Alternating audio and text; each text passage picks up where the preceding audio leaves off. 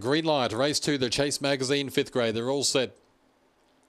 Racing, Miss Wild West missed it. Enough knowledge shows good speeds. Go to lead by two. Zambora Caitlin. Shandon Hawk to third. Miss Wild West is close enough in fourth. She's trying to get into the clear though. She's about six off the speed. Fantasia Lee, Harry Harks behind those. In front, enough knowledge by two, two and a half.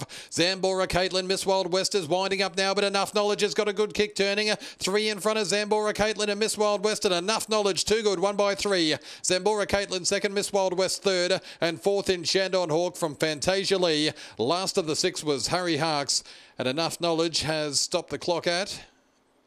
Well, it hasn't stopped yet. There we go now. 23 and 94. 23.94, 9.20 and 14.74 the splits for enough knowledge. Bounced straight to the front off the inside.